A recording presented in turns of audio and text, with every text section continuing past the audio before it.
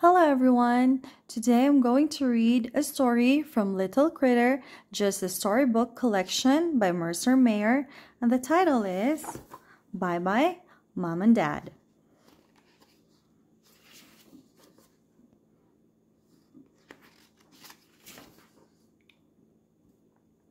Today, Mom and Dad went on a trip and Grandma and Grandpa came to stay with us. Bye bye, Mom and Dad, I said. Don't worry, I will take care of everything. First, we had to do our chores, so we vacuumed, we mopped, and we dusted.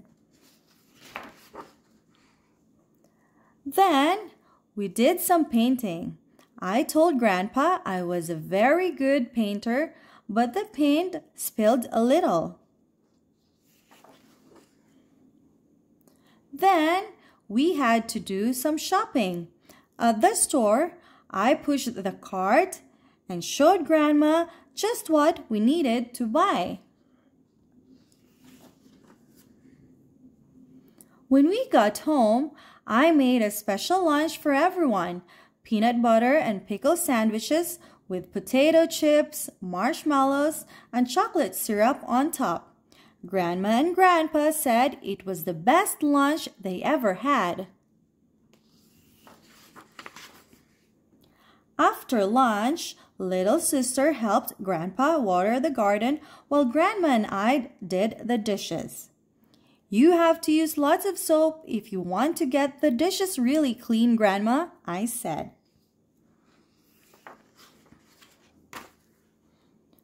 Then we went to the movies.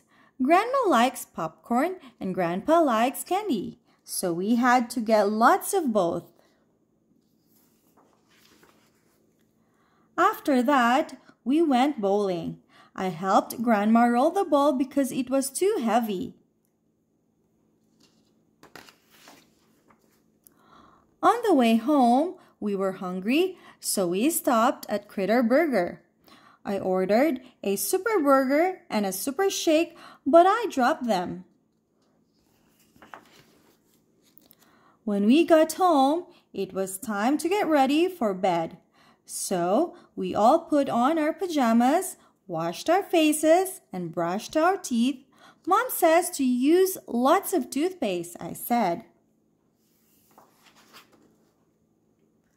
Then I told Grandma and Grandpa a scary story. It was a little too scary for them, so we had to check for monsters in the closet and under the bed.